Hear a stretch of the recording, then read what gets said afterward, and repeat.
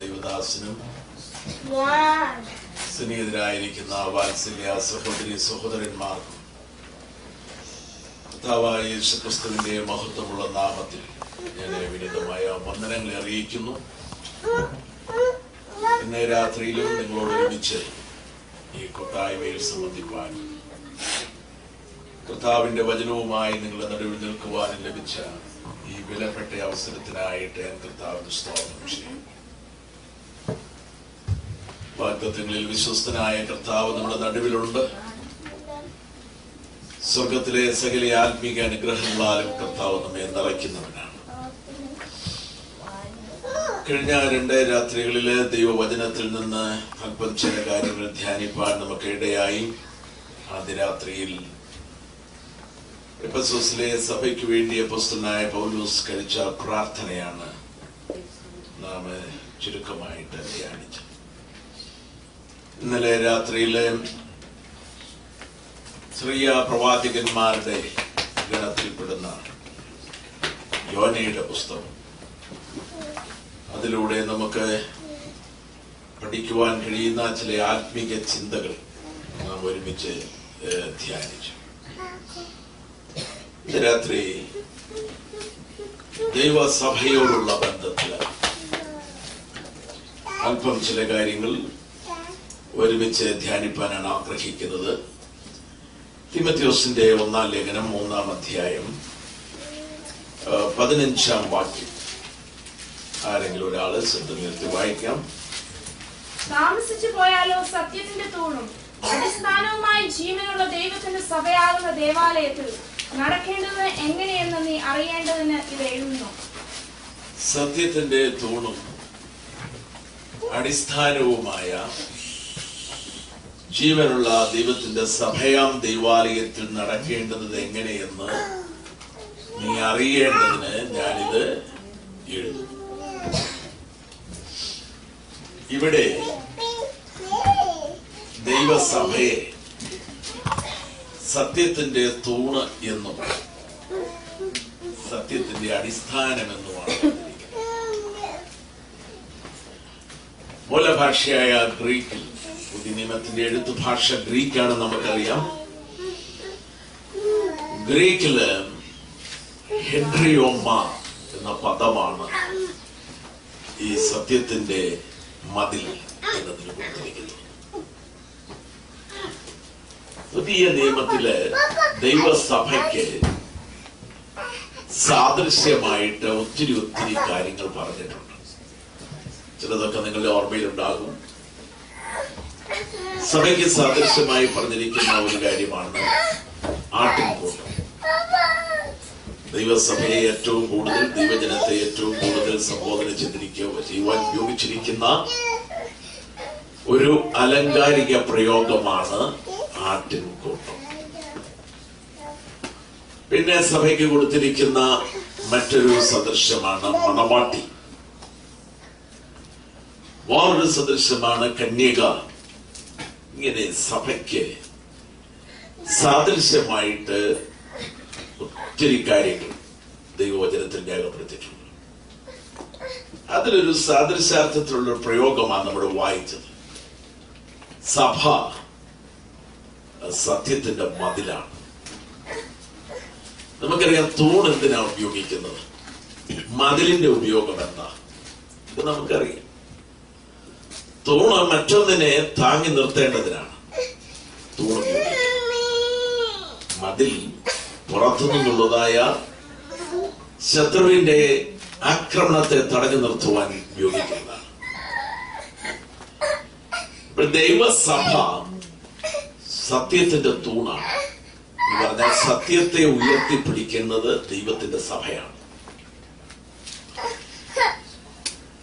പുതിയ നിയമസഭ ഉയർത്തിപ്പിടിക്കുവാൻ നമ്മെ പരമേ കർത്താവ് നമ്മെ പരമേൽപ്പിച്ചിരിക്കുന്ന ചില സത്യങ്ങളുണ്ട്. നിങ്ങൾ വായിച്ചിട്ടുണ്ടായിരിക്കും ജ്ഞാനമായവൾ ഒരു വീട് പണിതു. ആ വീടിന് തൂൺ എത്രയുണ്ടായിരുന്നു ഏഴ് തൂണുകൾ ജ്ഞാനമായവൾ പണിത വീടിന് ഏഴ് തൂണുകളുണ്ടായിരുന്നു ഇവിടെ ഏഴ് തൂണ എന്ന് പറയുന്നത് ഏഴ് അടിസ്ഥാന ഉപദേശങ്ങളാണ്. പുതിയ സഭയ്ക്ക് കർത്താവ് കൊടുത്തിരിക്കുന്ന അടിസ്ഥാന ഉപദേശം.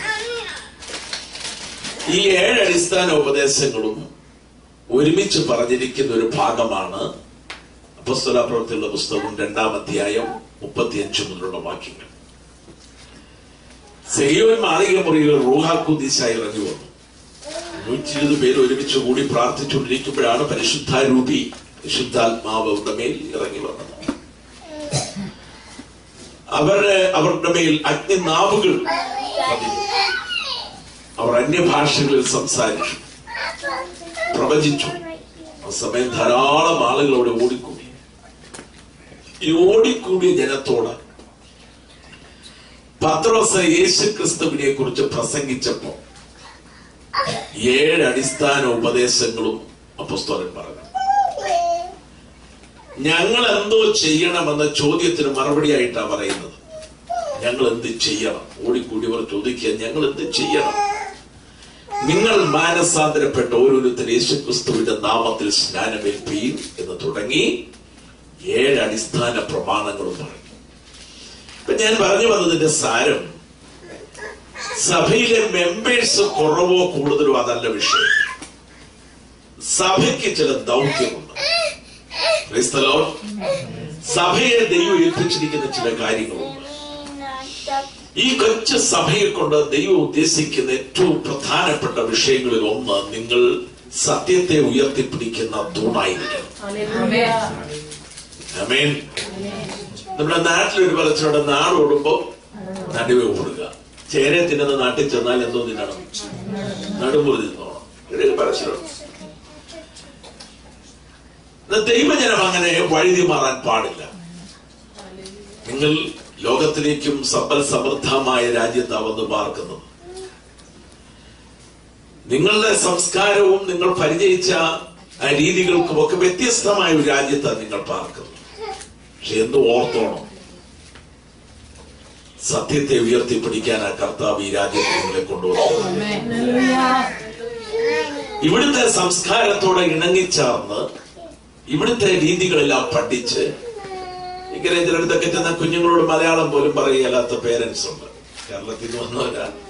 പക്ഷെ നമ്മൾ അവരോട് മലയാളം പോലും ഒരു വാക്ക് പോലും പറയല കൊച്ചു മലയാളം പറഞ്ഞാൽ തല്ലുന്ന പേരൻസ് മലയാളമാണ് നീ പറഞ്ഞത്. അതൊക്കെ തെറ്റാണ്. ഇംഗ്ലീഷ് നന്നായി പഠിക്കണം. എന്നാൽ കുറഞ്ഞ പക്ഷം നമ്മുടെ മക്കൾ മലയാളം കേട്ടാൽ മനസ്സിലാക്കാനും തിരിച്ചു പറയാനും അവർ അഭ്യസിച്ചിരിക്കണം നമ്മൾ വീട്ടിൽ അവരെ പഠിപ്പിക്കണം. മനസ്സിലായോ? അല്ലെങ്കിൽ പണ്ട് ഒരു കഥയുണ്ടല്ലോ. എല്ലാം പറയാൻ പോയ പ്രശ്നമാണ്.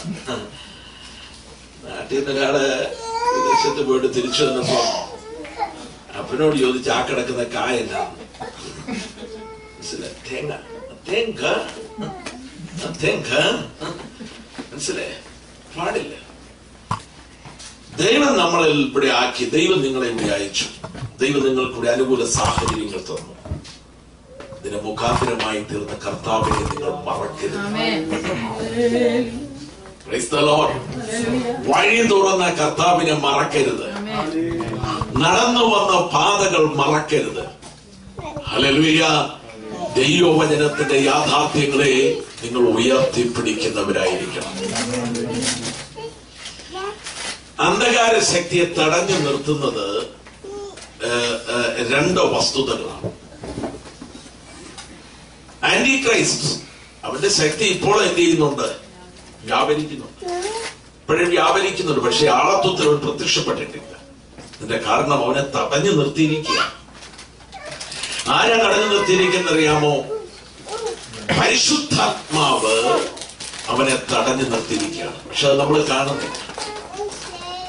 എന്നാൽ ദൃശ്യ ലോകത്തിൽ ആന്റി ക്രൈസ്റ്റിനെ തടഞ്ഞു നിർത്തിയിരിക്കുന്നത് ദൈവത്തിന്റെ സഭയാണ്. സഭയിലൂടെയാണ് പരിശുദ്ധാത്മാവ് പ്രവർത്തിക്കുന്നത്.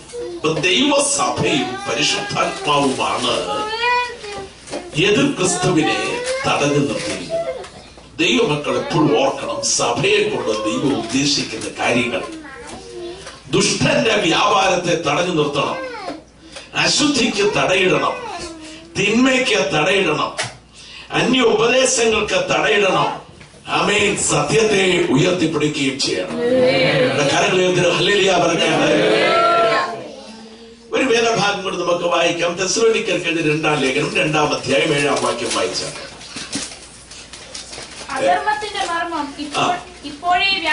അധർമ്മത്തിന്റെ മർമ്മം ഇപ്പോഴേ വ്യാപരിക്കുന്നുണ്ട് യെസ് ഇതുവരെ തടുക്കുന്നവൻ വഴിയിൽ നിന്ന് ഇതുവരെ തടുക്കുന്നവൻ വഴിയിൽ നിന്ന് നീങ്ങിപ്പോക മാത്രമാണ്. അപ്പൊ വഴിയിൽ ഒരുത്തൻ തടഞ്ഞു നിർത്തിയിരിക്കുകയാണ്.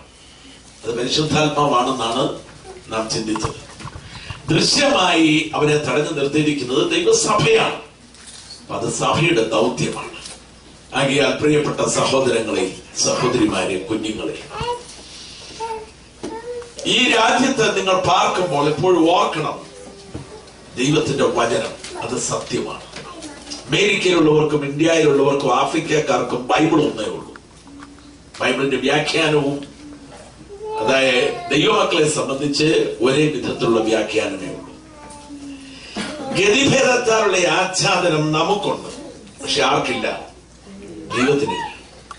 Lord. കാലങ്ങൾ മാറും. സംസ്കാരം മാറും പശ്ചാത്തലം മാറും നമ്മുടെ അവസ്ഥകൾക്ക് മാറ്റമുണ്ടാകും. ഇപ്പോഴെല്ലാം നമ്മെ ഓർത്തിരിക്കണം. എന്റെ ദൈവത്തിന് മാറ്റമില്ല അവന്റെ പ്രമാണങ്ങൾക്ക് മാറ്റമില്ല. ആകാശം മാറിപ്പോകും ഭൂമി നീങ്ങിപ്പോകും. ദൈവത്തിന്റെ വചനം എന്ത് ചെയ്യുകയില്ല മാറിപ്പോകുകയില്ല. സ്വർഗത്തിൽ എന്നേക്കും സ്ഥിരമായിരിക്കുന്നതാണ് ദൈവത്തിന്റെ വചനം. അതിന് മാറ്റമില്ല. കർത്താവ് പറഞ്ഞല്ലോ ഈ ന്യായപ്രമാണത്തിൽ നിന്ന് ഒരു വള്ളിയോ പുള്ളിയോ മാറിപ്പോകയില്ല.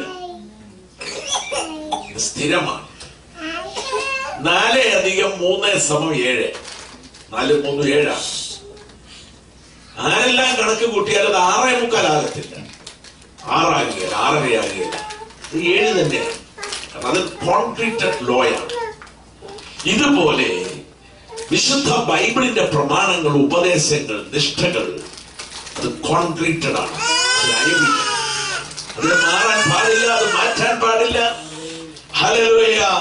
വചനം എന്ത് പറയുന്നുവോ അതനുസരിച്ച് ജീവിക്കുവാനായിട്ട് നിയമിക്കപ്പെട്ടവരാണ് ദൈവത്തിന്റെ മക്കൾ. ഇതൊക്കെ പറയുമ്പോൾ നമ്മുടെ മനസ്സിൽ ഒത്തിരി ചിന്തകൾ ഉണ്ടാകും. ഇതൊക്കെ എങ്ങനെ സാധിക്കും? ഇസ്രയേൽ മക്കളുടെ യഹോവയായ ദൈവം പറഞ്ഞു നിങ്ങൾ ജാതികളുടെ വഴികൾ പഠിക്കരുത്. ജാതികളുടെ വഴികൾ നിങ്ങൾ പഠിക്കരുത്. അവരുടെ വഴികളിൽ നിങ്ങൾ സഞ്ചരിക്കരുത്. ഹോയായ ദൈവം അവർക്ക് കൽപ്പന കൊടുത്തതാണ്. അവരുമായി നിങ്ങൾ ഇടകലരരുത്. അവിശ്വാസിയോട് ഇണയില്ലാപ്പണ കൂടരുത്. ദൈവാലയത്തിന് വിഗ്രഹങ്ങളോട് നീ യോഗ്യത കത്തോലിക്കലെ ഒരു അച്ഛൻ ഒരിക്കൽ അവർ ഞായറാഴ്ച വായിക്കാൻ പുള്ളിക്ക് കിട്ടിയ ഭാഗം അതാണ് കൊരിന്തിലേഖനത്തിൽ ദൈവാലയത്തിന്റെ വിഗ്രഹത്തോടൊന്ന് യോഗ്യത ക്രിസ്തുവും ബലിയാലും തമ്മിൽ എന്ത് പൊരുത്തം? ഇരുളും വെളിച്ചവും തമ്മിൽ എന്ത് ചേർച്ച? ആകെ അവിടെ നടുവിൽ നിന്ന് പുറപ്പെട്ട് വാർപ്പെട്ടിരിക്കുന്ന ഭാഗമാണ് ആഴ്ച വായിക്കാൻ അരമനയിൽ നിന്ന് കിട്ടിയത്. അച്ഛന് മനസ്സിലായി ഇത് വായിച്ച കുഴപ്പമാണ്. കാരണം ദൈവാലയത്തിന്റെ വിഗ്രഹങ്ങളൊന്ന് യോജിത ചോദിച്ചാൽ ആലയത്തിന്റെ വിദ്യ മുഴുവൻ ചുവരുകളിൽ മുഴുവൻ ഇരിക്കുന്ന പ്രതിമകളാണ്. ഫോട്ടോ പ്രതിമ ബിംബങ്ങൾ.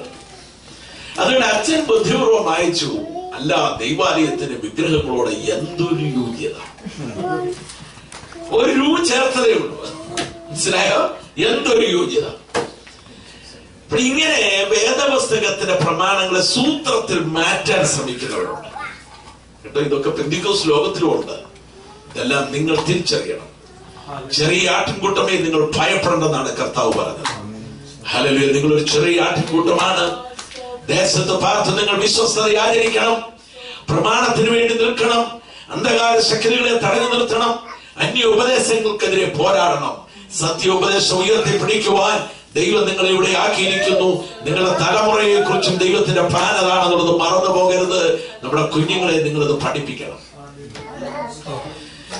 എബ്രാഹിം ലേഖനം പതിനൊന്നാം അധ്യായം എടുക്കേണ്ട ഒരു വാക്യമുണ്ട്. വാഗ്ദത്ത ദേശത്ത് എന്നിട്ടും അബ്രഹാം കൂടാരങ്ങളിൽ പാർത്തുകൊണ്ട് വാഗ്ദത്തത്തിന്റെ അവകാശിയായ ഇസ്ഹാക്കിനോടും യാക്കോബിനോടും കൂടി എന്ത് ചെയ്തു? കൂടാരങ്ങളിൽ പാർത്തു. വേദപഠിതാക്കൾ പറയുന്നത് ദൈവം കൊടുക്കാമെന്ന് പറഞ്ഞ ദേശത്ത് അബ്രഹാം വന്നിട്ടു. അബ്രഹാം എന്ത് ചെയ്തു? ചോദിച്ചാൽ തന്റെ മകൻ ഇസഹാക്കിനെയും കൊച്ചുമകൻ യാക്കോബിനെയും ഓർക്കണം. മകൻ ഇസഹാക്ക് കൊച്ചുമകൻ യാക്കോബ്. അവരെ രണ്ടുപേരെയും അപ്പുറത്തും ഇപ്പുറത്തും ഇരുത്തിക്കൊണ്ട് അവരോട് പറഞ്ഞു കൊടുക്കുമായിരുന്നു മക്കളെ ഇതാണ് ദൈവം വാഗ്ദത്തം ചെയ്ത നാടെങ്കിലും നമ്മൾ ഇവിടത്തുകാരല്ല. ഇതിന്റെ അപ്പുറത്തും വേറൊരു നാട് നമുക്കുണ്ട് ഓർക്കണം മാതാപിതാക്കൾ അമേരിക്കയിൽ വന്നത് എന്തിനാണെന്ന് ചോദിച്ചാൽ അല്ലെങ്കിൽ എന്തിനാ പോകുന്നത് ചോദിച്ചാൽ നമ്മുടെ ആളുകളൊക്കെ പറയുന്ന പിള്ളേർക്ക് വേണ്ടിയാണെന്ന് പറഞ്ഞുകൊണ്ടിരുന്നത്. സത്യമല്ലേ തിരിച്ചു കുവൈറ്റിൽ നിന്ന് എന്തോ കുടുംബങ്ങളായിട്ട് ഇവിടെ വന്നിരിക്കുന്നത്?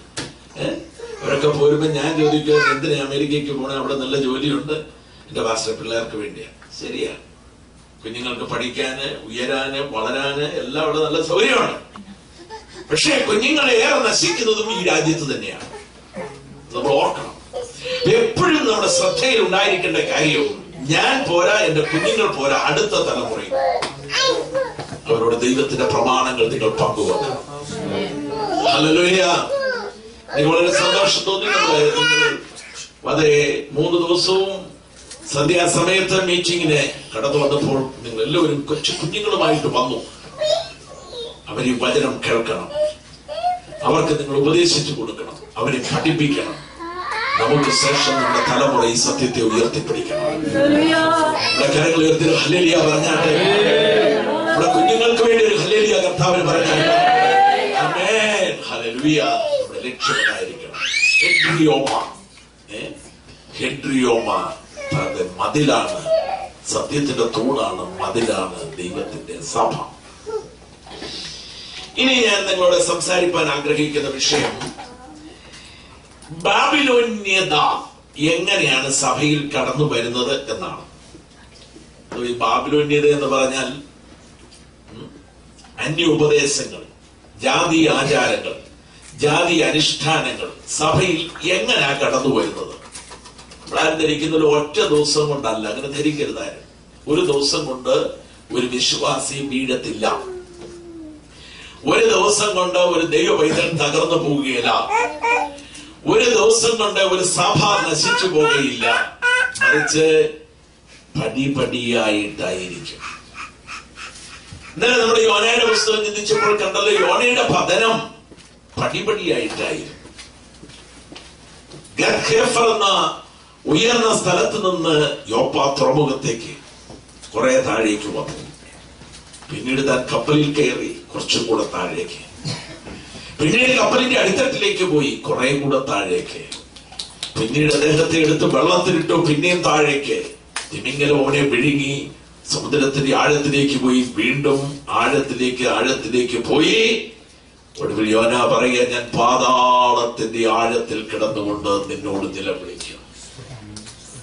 ഉന്നതിയിൽ നിന്ന് ഒരു മനുഷ്യൻ ഒരു ദിവസം കൊണ്ട് ഏറ്റവും ആഴത്തിലേക്ക് വരികയില്ല. പടി പടിയായിട്ടേ അവൻ വീഴുകയുള്ളൂ. ഇത് തന്നെയാണ് സഭയുടെയും അവസ്ഥ?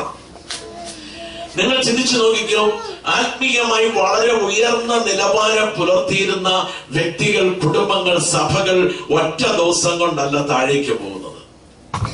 സഭയോടുള്ള ബന്ധത്തിലാണെങ്കിൽ തന്നെ ശ്രദ്ധിച്ചാൽ അറിയാം ശ്രദ്ധിക്കുന്നവർക്കറിയാം. പ്രത്യേകിച്ച് പാസ്റ്റേഴ്സിന് അത് മനസ്സിലാക്കാൻ കഴിയും. ആദ്യം ഇതിന്റെ ഇരിപ്പ് മാറും. മനസ്സിലായോ? ഒന്നാമത്തെ റോയിൽ ഇരുന്ന ആളാണെങ്കിൽ പിന്നെ അത് രണ്ടാമത്തെ റോയിലാണ്. എന്താ ബ്രദർ? ബ്രദർ അങ്ങ് മാറിയിരുന്നു. അങ്ങനെ പോയി പോയി പുള്ളി ഒടുവിൽ ഏത് റോയിലാകും? ഏറ്റവും ലാസ്റ്റ് റോയിലാകും. എന്തോ പറ്റും? ഒന്നും പറ്റിയില്ല. ഞാൻ കാലിന് വേദനയായോണ്ട് ഇവിടെ ഇരുന്നതേ ഉള്ളൂ എന്നൊക്കെയൊക്കെ പറയും. എക്സ്ക്യൂസസ് ഒത്തിരി ന്യായങ്ങൾ പറയും. അപ്പോൾ അങ്ങനെ പുറകോട്ട് പോയി പോയി പോയി താൻ ഏറ്റവും ഒടുവിൽ ആഴത്തിൽ ചെന്ന് നിബന്ധിക്കും. ഒരു ദിവസം കൊണ്ട് ആരും പരാജയപ്പെടുന്നില്ല. പടിപടിയായിട്ടാണ്. ഇതാണ് ഞാൻ നിങ്ങളോട് തുടർന്ന് പറയാൻ ആഗ്രഹിക്കുന്ന വിഷയം. പടിപടിയായിട്ടാണ് പരാജയവും വീഴ്ചയും ഇതിനെ കൊച്ചു ഉദാഹരണമായിട്ട് എടുക്കുന്നത് ദാനിയൽ പ്രവചനത്തിൽ നിന്നാണ്. ബാബിലോണിലേക്ക് പിടിക്കപ്പെട്ടു കൊണ്ടുപോയ യഹൂദ യൗവനക്കാരോടുള്ള ബന്ധത്തിൽ രണ്ടു മൂന്ന് കാര്യങ്ങൾ നിങ്ങളുടെ ശ്രദ്ധയിൽ ഞാൻ കൊണ്ടുവരാം. ദാനിയൽ പ്രവചനം ഒന്നാം അധ്യായം നാലാം വാക്യം വായിച്ചു രാജസന്തതിയിലും കുലീനന്മാരിലും വെച്ച് അംഗഭംഗമില്ലാത്തവരും. സുന്ദരന്മാരും സകല ജ്ഞാനത്തിലും നിപുണന്മാരും അറിവിൽ സമർത്ഥന്മാരും വിദ്യാപരിജ്ഞാനികളും രാജധാനിയിൽ പരിചരിപ്പാൻ യോഗ്യന്മാരുമായ ചില ബാലന്മാരെ വരുത്തുവാനും അവരെ കൽദയരുടെ വിദ്യയും ഭാഷയും അഭ്യസിപ്പിക്കാനും കൽപ്പിച്ചു. ശ്രദ്ധിക്കുക ഓരോ ഭാഗം നിർത്തി നിർത്തി പെട്ടെന്ന് ചിന്തിച്ചു പോകാം. വളരെ യോഗ്യന്മാരായ ചില ആളുകളെയാണ് ഇവിടുന്ന് തെരഞ്ഞെടുത്തത്. ലീനന്മാർ സുന്ദരന്മാർ കഴിവുള്ളവർ വളരെ യോഗ്യന്മാരായ ആളുകളെ തിരഞ്ഞെടുത്തു. എന്നിട്ട് രാജാവ് അവരോട് പറയുന്നത് നിങ്ങൾ എന്ത് ചെയ്യണം? കൽദയരുടെ വിദ്യയും ഭാഷയും അവരെ പഠിപ്പിക്കണം. ആദ്യം ചേഞ്ച് വരുത്താൻ പറഞ്ഞത് എവിടാ? അറിവിലും ഭാഷയിലും മാറ്റം വരുത്താനാണ് പറഞ്ഞത്. ഇവർ എബ്രായ ഭാഷ സംസാരിച്ചിരുന്നവരാണ് പക്ഷെ മാതൃഭാഷ എബ്രായ ഭാഷയാണ്. അപ്പോൾ പതുക്കെ ശത്രു അതായത് ബാബേൽ രാജാവ് ആവശ്യപ്പെടുന്നത് ഈ തെരഞ്ഞെടുക്കപ്പെട്ട സുന്ദരന്മാരും കോമളന്മാരും കഴിവുള്ളവരും മിടുക്കന്മാരുമായ ആളുകളെ ഇവരെ ഇസ്രയേലിൽ നിന്ന് അടിമകളായി പിടിച്ചുകൊണ്ടുപോയിട്ട് പറയുക അവരുടെ ഭാഷ മാറ്റിയിട്ട് നിങ്ങൾ കൽദായരുടെ ഭാഷ അവരെ പഠിപ്പിക്കണം. അറിവിലും ഭാഷയിലും മാറ്റം. വിദ്യയിലും ഭാഷയിലും മാറ്റം. രണ്ടാമതെന്തോ മാറണം. അഞ്ചാം വാക്യം വായിച്ചേ. രാജാവ് അവർക്ക് രാജഭോജനത്തിൽ നിന്നും താൻ കുടിക്കുന്ന വീനിൽ നിന്നും നിത്യവൃത്തി നിയമിച്ചു.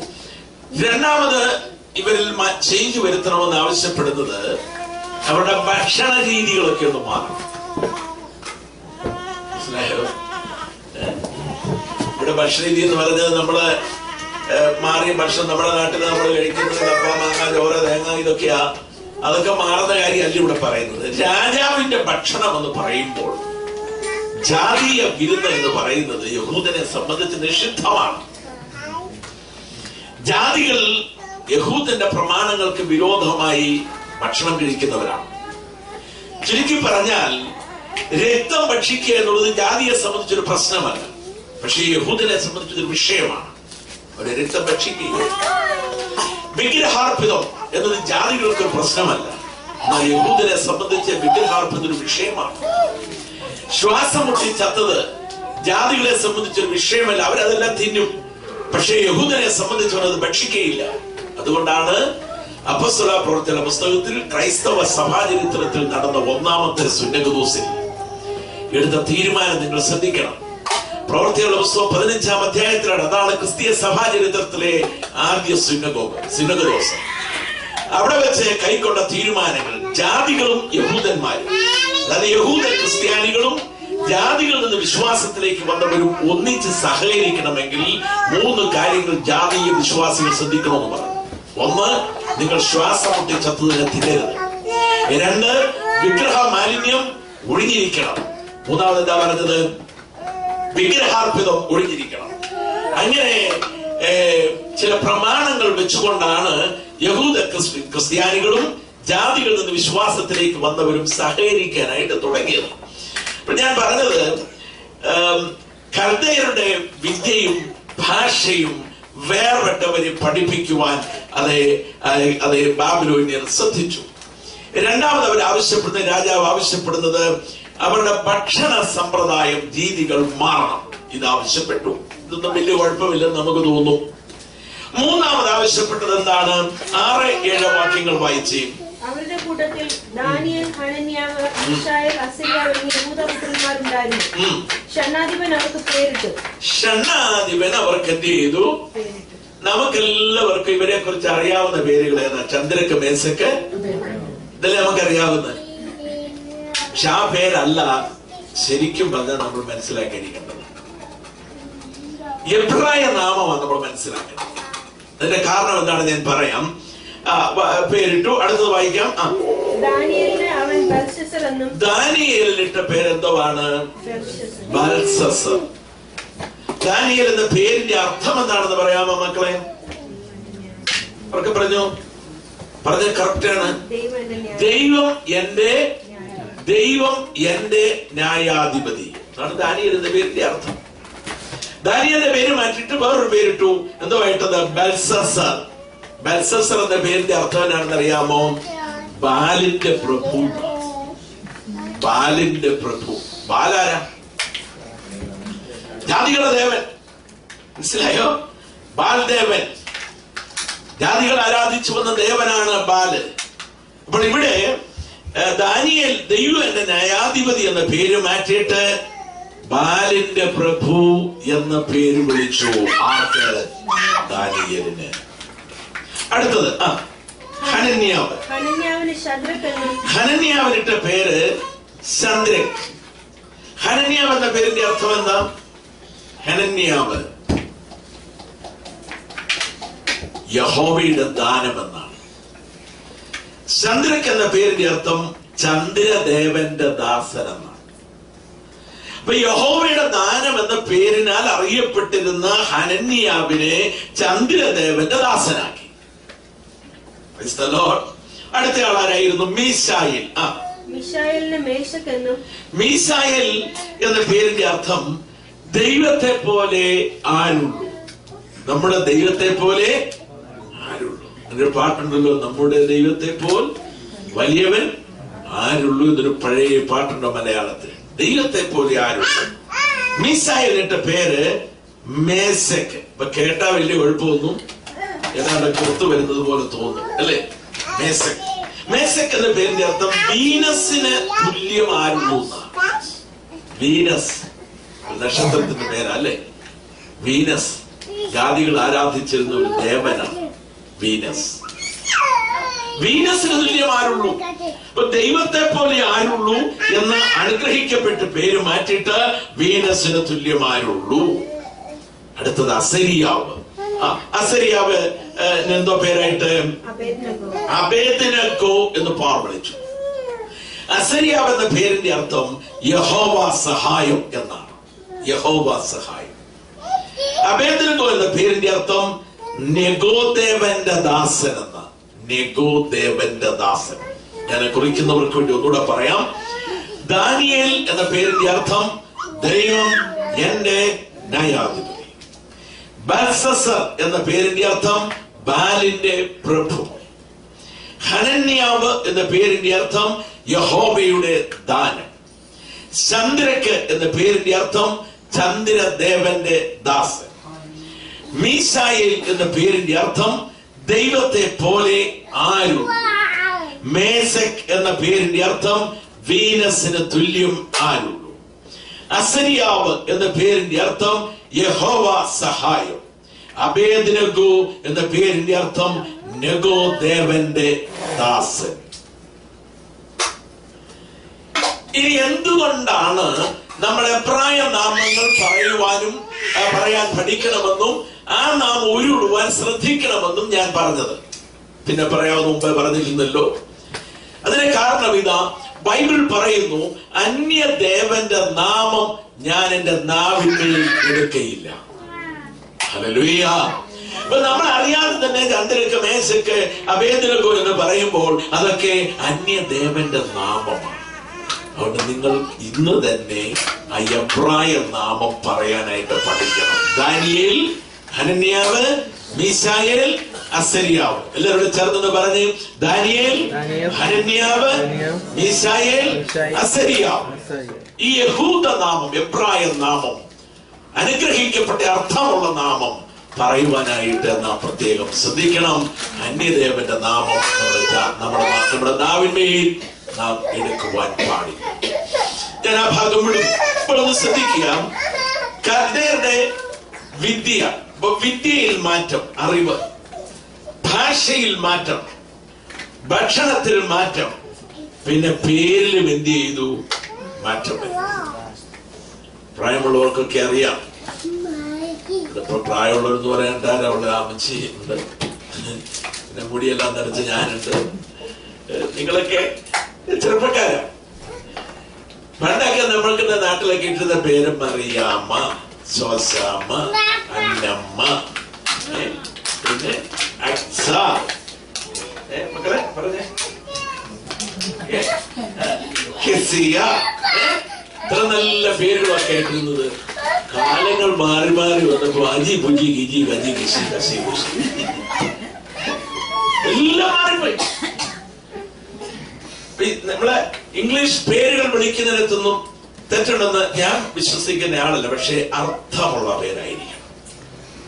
നമ്മുടെ കുഞ്ഞുങ്ങൾക്ക് പേര് വിളിക്കുമ്പോൾ നല്ല അർത്ഥവത്തായ പേരുകൾ അത് ഇംഗ്ലീഷോ ഹിന്ദിയോ മലയാളം ഏതുമാകട്ടെ മീനിങ് ഉണ്ടായിരുന്നു കുഞ്ഞ് ചോദിക്കുക മമ്മി എന്റെ പേരിന്റെ അർത്ഥം എന്താണെന്ന് ചോദിച്ചു.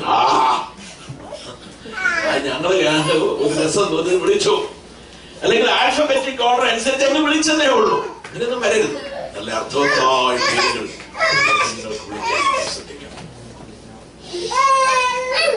പടിപടിയായിട്ടുള്ള മാറ്റം. ഇനി മൂന്നാം അധ്യായത്തിലേക്ക് നമുക്ക് വരാം. പതിനാല് മുതൽ പതിനെട്ട് വരെയുള്ള വാക്യങ്ങൾ വായിച്ചും.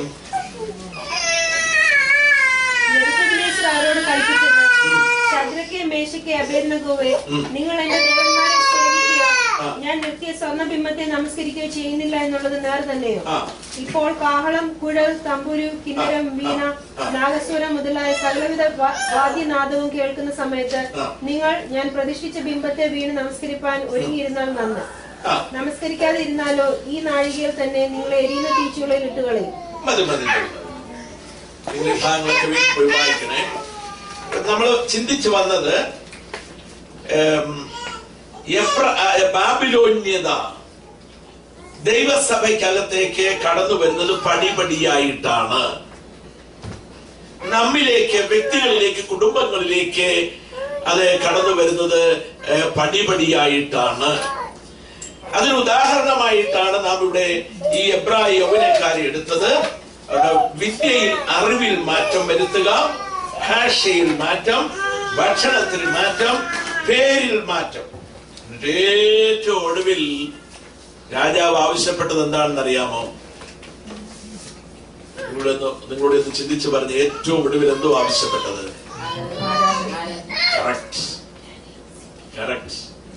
ഏറ്റവും ഒടുവിൽ ആവശ്യപ്പെട്ടത്? ഇനി ആരാധന മാറണം ആദ്യം ആരാധനയിൽ മാറ്റം വരുത്തണമെന്ന് പറഞ്ഞാൽ സാധ്യമല്ലെന്ന് അവർക്കറിയാം. ആദ്യം കൊച്ചു കൊച്ചു കൊച്ചു കൊച്ചു കാര്യങ്ങൾ ശ്രദ്ധിക്കപ്പെടാത്ത കാര്യങ്ങൾ പ്രാധാന്യതയില്ലാത്ത കാര്യങ്ങളിലൊക്കെ പതുക്കെ പതുക്കെ മാറ്റം വരുത്തിട്ട് ഏറ്റവും ഒടുവിൽ പറയുന്നു ഇനി ആരാധന മാറണം. പടിപടിയായിട്ട് ശത്രു വിശ്വാസത്തിൽ നമ്മളെ വീഴ്ത്തി കളയുന്നത് നമ്മൾ എവിടെ നിൽക്കുന്നു ഇന്ന് രാത്രി ഒരു നിമിഷം ഒന്ന് ചിന്തിക്കണം എല്ലാവരും. ഞാൻ എവിടെ നിൽക്കുന്നു? എന്റെ കുടുംബം എവിടെ നിൽക്കുന്നു? എന്റെ കുഞ്ഞുങ്ങൾ എവിടെ നിൽക്കുന്നു. താഴേക്കാണോ ഉന്നതകളിലേക്കാണോ യാത്ര എന്നുള്ളതിനെ കുറിച്ച് നാം വിചിന്തനം ചെയ്യണം. പടിപടിയായി തകർത്ത് കളയുന്ന അന്ധകാര ശക്തിയോട് ഇന്ന് രാത്രി ഒരു യുദ്ധം പ്രഖ്യാപിച്ചിട്ട്. ആത്മീയ പോരാട്ടം എന്ന് പറയുന്നത് നമ്മൾ തിരിച്ചറിയണം. ഇതൊരു വലിയ കാര്യം ആത്മീയ പോരാട്ടം. ഒടുവിൽ കർത്താവിലും അവന്റെ അമിതബലത്തിലും ശക്തിപ്പെടുത്തി ഞാൻ കോൺഫറൻസിനാണോ എവിടാണോ പറഞ്ഞത് എനിക്ക് ഓർമ്മയില്ല. ഒരു വിശ്വാസി ധരിച്ചിരിക്കേണ്ട ഏഴ് ആയുധവർഗങ്ങളെ കുറിച്ച് എപ്പിസിലേഖൻ ആറാം അധ്യായത്തിൽ പറയുന്നു. തലയിൽ രക്ഷ എന്ന ശിരസ്ത്രം നെഞ്ചത്ത് നീതി എന്ന കവചം വലത്തെ കയ്യിൽ ആത്മാവിന്റെ വാൾ ദൈവത്തിന്റെ വചനം ഇടത്തെ കയ്യിൽ വിശ്വാസമെന്ന പരിചയം. അരയിൽ സത്യം ബെൽറ്റ് കാലിൽ സമാധാന സുവിശേഷത്തിനായിട്ടുള്ള ഒരുക്കം ബൂട്ടായിട്ട് ധരിക്കണമെന്ന് പറഞ്ഞു മനസ്സിലായോ? ആറായി ആയുധവർഗങ്ങൾ ഇത്രയും ആയുധവർഗങ്ങൾ ധരിച്ചിരിക്കുന്ന ഒരാളെ നിങ്ങളൊന്ന് മനസ്സിൽ കണ്ടേ നല്ലൊരു സോൾജിയറാണ് മനസ്സിലായ? നല്ലൊരു പടയാളിയാണ്. പക്ഷേ അവന്റെ ജീവനില്ല അവൻ വേഷം ധരിച്ചിരിക്കുന്നേ ഉള്ളൂ. ഈ വലിയ ഷോപ്പിംഗ് മാളിലൊക്കെ ചെന്നാൽ പ്രത്യേകിച്ച് ഇവിടെയൊന്നും അധികം കാണാറില്ല. നാട്ടിലൊക്കെ ടെക്സ്റ്റൈൽ ഷോപ്പിൽ ചെന്നാൽ നല്ല മിടുക്കന്മാർ നിൽക്കുന്ന ഷർട്ടൊക്കെ ഇട്ട് പാൻസ് ഒക്കെ ഇട്ട് കോട്ടൊക്കെ ഇട്ട് നല്ല കൂളിംഗ് ഗ്ലാസ് ഒക്കെ വെച്ച് കൂളിംഗ് ഗ്ലാസിന്റെ ഇങ്ങനെ കൈയൊക്കെ പിടിച്ച് ഇങ്ങനെ നിൽക്കുന്ന നല്ലൊരു പോസ് നിൽക്കുന്ന നിങ്ങൾ ശ്രദ്ധിച്ചിട്ടില്ലേ? അതിനപ്പുറത്ത് നോക്കിയാൽ ചുരിദാറൊക്കെ ഇട്ട് നല്ല മിഡും മിടുക്കികൾ കൂളിംഗ് ഗ്ലാസ് ഒക്കെ വെച്ച് ഇടത്തേക്ക് ഇങ്ങനെ കൂളിംഗ് ഗ്ലാസിന്റെ അറ്റത്ത് പിടിച്ച് നിൽക്കുന്നത് നമുക്ക് കാണാം. പക്ഷെ ഒരു കാര്യമുണ്ട്. ഈ കടക്ക് തീ പിടിക്കട്ടെ കടയ്ക്ക് തീ പിടിച്ചാൽ ഈ പുള്ളികളെല്ലാം അവിടെ നിൽക്കത്തേ ഉള്ളൂ. കത്തി പോകത്തേ ഉള്ളൂ. എന്റെ കാരണം ഒന്നിനും എന്തില്ല. ജീവനില്ല. രാവിലെ ഷോപ്പ് തുറന്നപ്പോൾ സ്റ്റാഫ് ഒരുക്കിക്കൊണ്ട് നിർത്തിയതാ. ഇതുപോലെ സഭയ്ക്കകത്ത് ഒരുക്കിക്കൊണ്ട് നിർത്തുന്ന ഒത്തിരി സ്റ്റാച്യൂസ് ഉണ്ട്. ഒരുക്കിക്കൊണ്ട് നിർത്തിയതാ. തീ പിടിച്ചാൽ ഒരെണ്ണം ഓടി രക്ഷപ്പെടുകയാണ്. സ്റ്റാഫൊക്കെ ഓടി രക്ഷപ്പെടും. എന്റെ കാരണം എന്താണെന്നറിയോ? ഇതിനൊന്നും ജീവനില്ല. കണ്ടാൽ നല്ല സുന്ദരനാണെന്ന് തോന്നും. പക്ഷെ എന്തില്ല? ജീവനില്ല. കണ്ടാൽ ഒരു പടയാളിയാണ് ആയുധങ്ങളുണ്ട് ശിരസ്ത്രമുണ്ട്. ബൂട്ടുണ്ട്. ബെൽറ്റുണ്ട് കവചമുണ്ട്. വാളുണ്ട് പരിചയമുണ്ട്. പക്ഷേ ജീവനില്ല. അതുകൊണ്ട് ആ ഏഴാമത്തെ ആയുധവർഗത്തെ കുറിച്ച് അപ്പസ്തോലൻ പറഞ്ഞത് ഏത് നേരത്തും ആത്മാവിൽ പ്രാർത്ഥിച്ചു അതിനായി ജാഗരിച്ചു കൊണ്ടിരിക്കും ഒരു ധരിച്ചിരിക്കുന്ന ആറ് ആയുധവർഗങ്ങളെ സജീവമാക്കുന്നത് നിങ്ങളുടെ ആത്മാവിലുള്ള പ്രാർത്ഥനയാണ്. ഇന്ന് രാത്രിയിൽ അല്പസമയം നമ്മൾ ആത്മാവിൽ പാടി ആരാധിച്ചപ്പോൾ എന്റെ ഹൃദയം കർത്താവിലേറെ സന്തോഷിച്ചു. പ്രിയ സഹോദരങ്ങളെ നിങ്ങളിലുള്ള ആത്മീയ ജീവൻ നഷ്ടപ്പെട്ടു പോകാതെ ആത്മാവിലുള്ള ആരാധന ചോർന്നു പോകാതെ കൃപ നഷ്ടപ്പെട്ടു പോകാതെ. നിങ്ങൾ ദൈവത്തിന്റെ പരിശുദ്ധാത്മാവിൽ നിറഞ്ഞ ദൈവത്തെ ആരാധിക്കുന്നവരും ആത്മാവിൽ പ്രാർത്ഥിക്കുന്നവരുമായി ഏത് നേരത്തും ആത്മാവിൽ പ്രാർത്ഥിച്ചും അതിനായി ജാഗരിച്ചു കൊണ്ടിരിപ്പീ അതിനായി ജാഗരിക്കുക എന്ന് പറഞ്ഞാൽ പ്രാർത്ഥിച്ച വിഷയത്തിന്മേൽ പൊരുന്നിരിക്കുക എന്ന അർത്ഥം പൊരുന്നിരിക്കുക എന്നൊക്കെ പറഞ്ഞാൽ.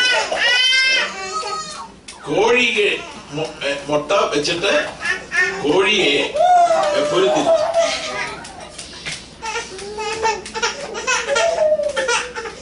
ഈ കോഴി ഇങ്ങനെ ചൂട് കൊടുത്ത് മുട്ടയ്ക്ക് ചൂട് കൊടുത്ത് കാത്തിരിക്കുക ഇരുപത്തിയൊന്ന് ദിവസം പതിനെട്ട് ദിവസമൊക്കെ ആകുമ്പോഴത്തേന് മുട്ടയ്ക്കകത്തൊരു അനക്കം.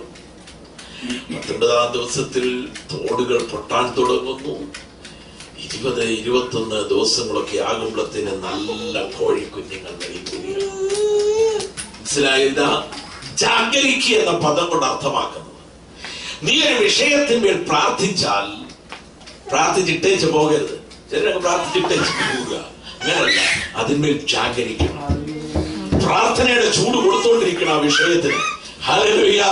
ചില ദിവസങ്ങൾ കഴിയുമ്പോൾ അതിനകത്ത് ജീവന്റെ ചലനം അനുഭവിപ്പാൻ തീരും ഇന്ന് രാത്രി ദൈവമക്കളെ ഏത് നേരത്തും ആത്മാവിൽ പ്രാർത്ഥിച്ചും അതിനായി ജാഗരിക്കുന്ന ഒരു ഉയർന്ന ആത്മീയ അനുഭവത്തിനായി നമുക്ക് കാക്ഷിക്കാം. കർത്താവിനോട് നമുക്ക് അതിനായി പ്രാർത്ഥിക്കാം. എന്റെ വിഷയത്തിലേക്ക് മടങ്ങി വരട്ടെ. വീഴ്ച പടി പടിയായിട്ടാണ്. അതിന് വേറൊരു ഉദാഹരണം കൂടെ നിങ്ങളുടെ ശ്രദ്ധയിൽ ഓടിച്ചു പറയാം. സിംഷോ. സിംഷോൻ എവിടാ വീണെന്ന് ചോദിച്ചാൽ എല്ലാരും പറയും ഗലീ പബ്ലിക്കാരുടെ പേരിന് ദലീല. ദലീലയുടെ മടിയിലാണ് സിംഷോൺ നശിച്ചതെന്ന് പറയും തെറ്റാണ്. അത് ഏറ്റവും ഒടുവിലത്തെ തകരാറായി. സിംസോന്റെ പരാജയം തുടങ്ങിയത് എവിടാണെന്ന് അറിയാമോ നിങ്ങൾക്ക്? മുന്തിരി തോട്ടത്തിലൂടെ പോയതാ പരാജയം നാസിർ വ്രതസ്ഥനാണ് സിംഷോൻ നാസിർ വ്രതത്തിന്റെ പ്രമാണം സംഖ്യാപുസ്തകത്തിൽ കൊടുത്തിട്ടുണ്ട്. അത് മുന്തിരിയുടെ കുരു തൊട്ട് തൊലി വരെ തിന്നരുത്. അപ്പൊ അതിന്റെ ഒരു ഫലവും അനുഭവിക്കാനായിട്ട് അവകാശമില്ല എങ്കിൽ നീ ആ തോട്ടത്തിൽ കൂടെ പോവുകയും ചെയ്യരുത്. രണ്ടാമത്തെ പ്രമാണം ശവം തുടരുത്. മൂന്നാമത്തെ പ്രമാണം മുടി കത്രിക്കരുത്.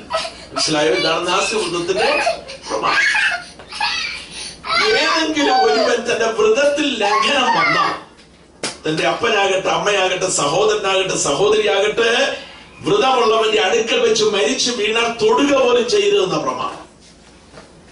വൈദവി തൊട്ടുപോയി. ലംഘനം വന്നു.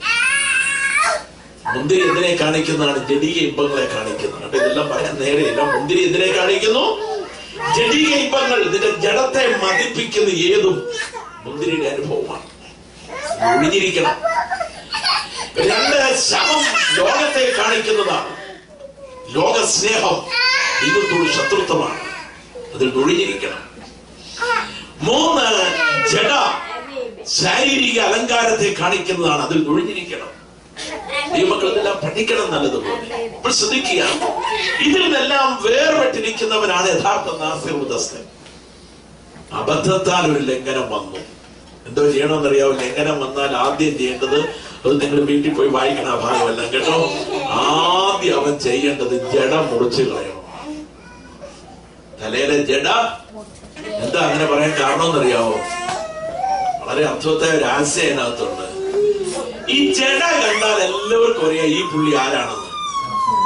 നാസിറുദക്കാരനാണ് മുന്തിരി തിന്നാഞ്ഞത് കൊണ്ടോ ശവം തൊടാതിരിക്കുന്നതുകൊണ്ടോ അതൊന്നും പ്രത്യക്ഷത്തിൽ കാണിക്കാൻ പറ്റുന്ന കാര്യമല്ലല്ലോ. എന്നാൽ ജഡ കണ്ടാൽ എല്ലാവർക്കും അറിയാം ഇവൻ ദൈവത്തിന്റെ വ്രതം ഉള്ളവൻ ഇവന്റെ തലമേൽ വ്രതമുണ്ട് അപ്പൊ അത് ലംഘനം വന്നാൽ ആദ്യം അത് മുറിച്ചു കളയണമെന്ന് പറഞ്ഞതിന്റെ താല്പര്യം. പിന്നെ നീ ഭക്തിയുടെ വേഷം കെട്ടിക്കൊണ്ട് നടക്കരുതെന്നാ ലംഘനം വന്നെങ്കിൽ കപടത വെച്ചുകൊണ്ട് പിന്നെ നടക്കരുത്. മുടി മുറിച്ച് കളഞ്ഞിട്ട് പ്രമാണം അനുസരിച്ച് നീ ശുദ്ധീകരണം പ്രാപിക്കണമെന്നാണ്. രാത്രി ദൈവമക്കളെ നാം കാപട്യത്തോടെയാണോ ദിവസമിരിക്കുന്നത് കപടതയുള്ള വിശ്വാസിയാണോ?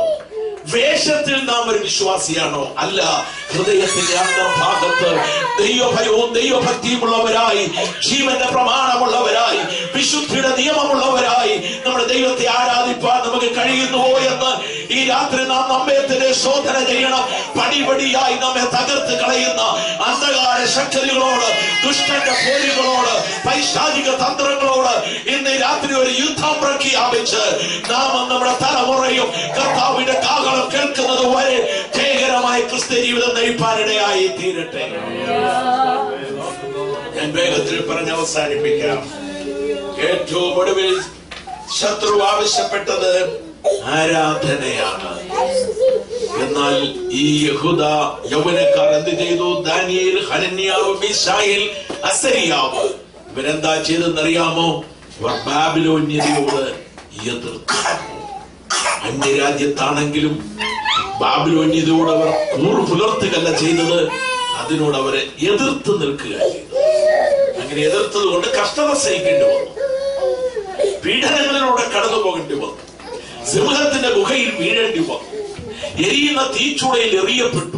ഒത്തിരി ഒത്തിരി പ്രശ്നങ്ങൾ ഉണ്ടായെങ്കിലും ശ്രദ്ധിച്ചോടെ ഒടുവിലത്തെ വിജയം അവരുടേതായിരുന്നു. ഉറക്കം പറയാമോ? സത്യത്തിന് വേണ്ടി പ്രമാണത്തിന് വേണ്ടി വിശുദ്ധിക്ക് വേണ്ടി നിയമങ്ങൾക്ക് വേണ്ടി ഉറച്ചു നിൽക്കുന്ന ദൈവവൈദ്യരെ ഒടുവിലത്തെ വിജയം നിന്റേതായിരിക്കും. അതിന് സംശയമില്ല. നമ്മുടെ കരങ്ങളൊന്ന് തട്ടി കർത്താവിന് മഹത്വം കൊടുത്താൽ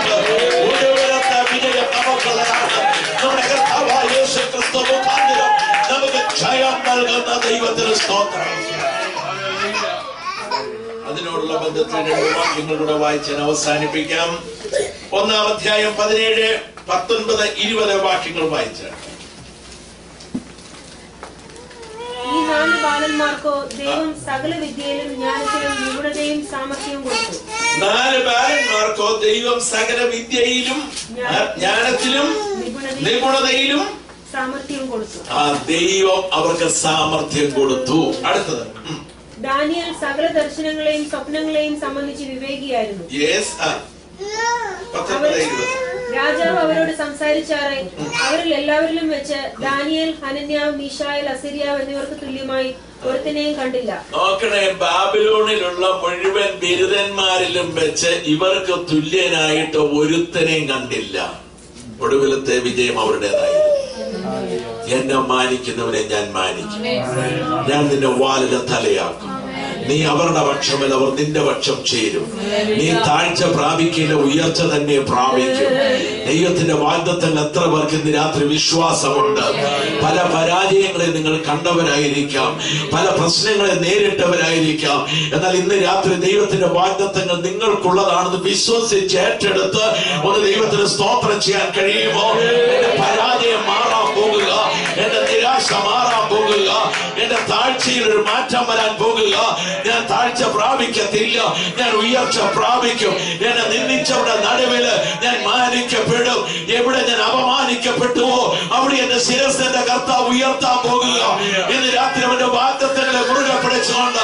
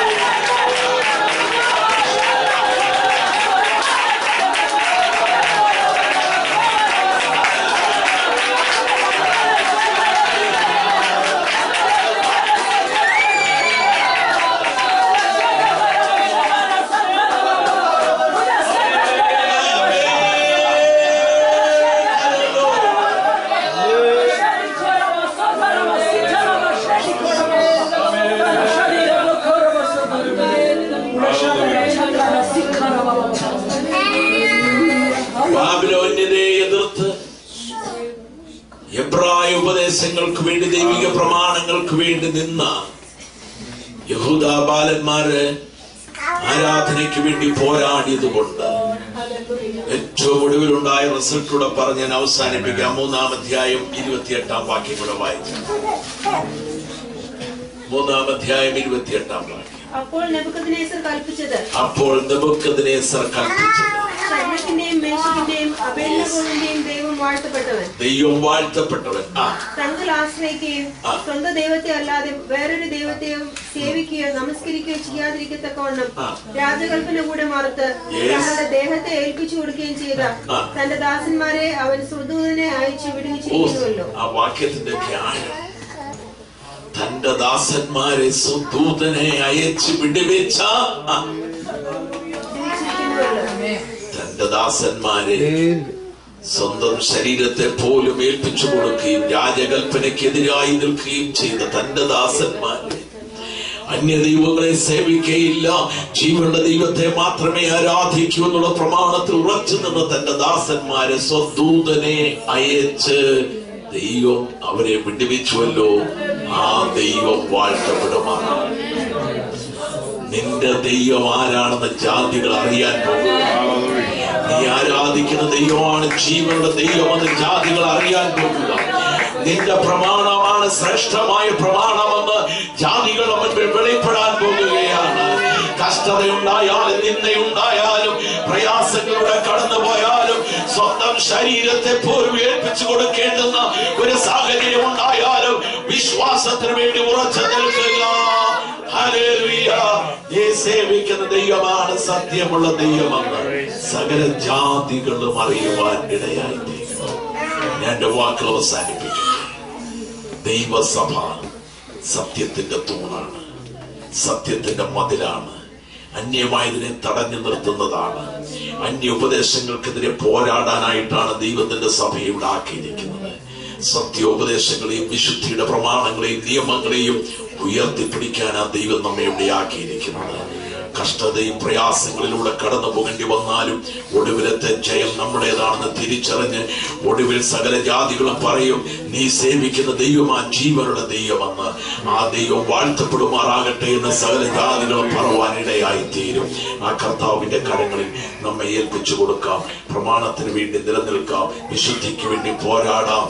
കാലങ്ങൾ മാറിയാലും സംസ്കാരം മാറിയാലും എന്തെല്ലാം വ്യത്യാസങ്ങൾ സംഭവിച്ചാലും ദൈവത്താൽ വിളിക്കപ്പെട്ട ദൈവമക്കളെ നിങ്ങൾ ദൈവിക പ്രമാണത്തിൽ ഉറച്ചു നിന്നുകൊണ്ട് അന്ധകാര ലോകത്തോട് പോരാടുവാൻ ഇന്ന് രാത്രി ഒന്നും കൂടെ പുതുക്കി സമർപ്പിക്കുക. പരിശുദ്ധാത്മാവിന്റെ അത്യന്ത ശക്തിക്കായി പ്രാർത്ഥിക്കുക. ദൈവമായ കർത്താവ് ഈ വചനങ്ങളാൽ നമ്മെ അനുഗ്രഹിക്കട്ടെ. ഈ സഭയെ കർത്താവ് അനുഗ്രഹിക്കട്ടെ. ഇതിന്റെ അതിരുകളെ കർത്താവ് വിസ്തൃതമാക്കട്ടെ. ദൈവനാമം മഹത്വപ്പെടുമാറാകട്ടെ.